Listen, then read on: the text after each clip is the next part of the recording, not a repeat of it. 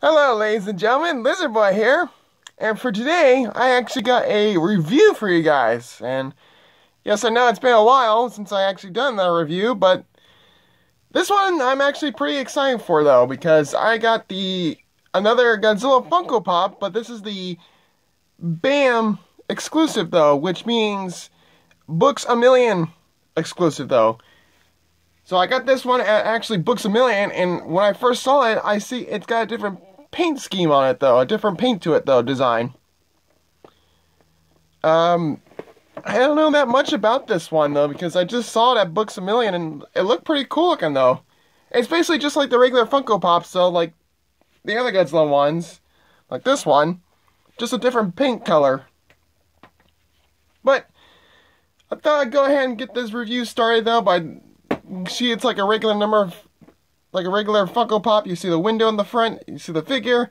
I mean, it is a little damaged right here though, sad to say. Well, which is okay. On the side, you get Godzilla himself. Back, same thing, which I do love the back though. You see the old Godzilla poster and his name right there. On the side, you get Godzilla's name, and you see the pop on the side. So yeah, let's go ahead and actually get this guy right out of the box. Okay, so we got him out of the box. Um, first off, it's really different from the other ones, so I have to say. So the uh, let's talk about the paint scheme. The I don't know why I keep saying that. The body, the paint though, is the body structure. As you can see, like this is just like a little bit of a different color to the body though. Like it gets like this slight grayish. But this one, this is like really, really get on the gray right here. And what's interesting is that everything else is white. You get the gray body, but like the dorsal fins, they're purple. So I'm trying to figure out if they're trying to recreate like Shin Godzilla though, when he does the uh I have the figure right here. Because there's a scene, spoiler alert, that his fins turn purple. So I'm trying to figure out like were they trying to go with that concept though? That I understand, but the um the eyes remind me of the GMK Godzilla though, which is yeah, that's pretty interesting though. But I like the white that's on the fingers and his toes though, which is pretty cool. And I don't know if you guys can see the inside of it's trying to look like it's purple too. I don't know if you guys can't see that though. And I have to say, whoever painted the fence, they did one little bit of a crappy job though, to be honest though. Guys can see that though. But that is like straight up purple though, which is interesting. Which I understand they're trying to go for that Shin Godzilla look though, but like trying to make it look like the figure though, like I have right there. Uh, but it's just a regular standard pop though, and then you get the just a bit bigger than the other one, so of course Godzilla's bigger though. Um, nothing really too much. You see the scene where they try to attach the head to the figure though, right here, which is I'm not too worried about that. Um,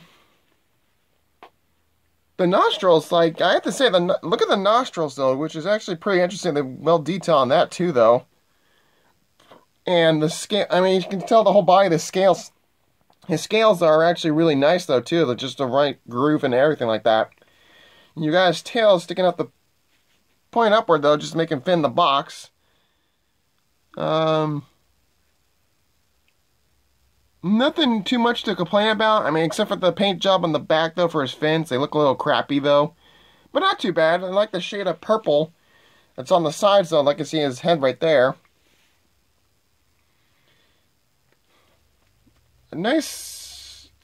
The claws are really nice, though. I like the claws, though, how they're ready to attack, though. Like, everything like that for him. Um...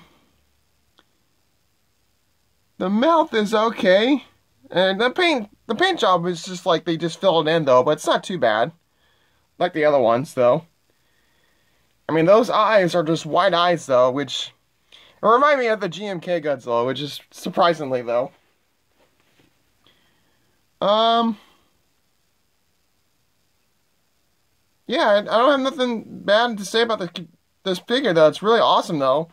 And this is actually a Books a Million exclusive though, which is pretty interesting that they have it though. Um, I wish I knew the background story of this guy when they came up with this idea. That's for sure.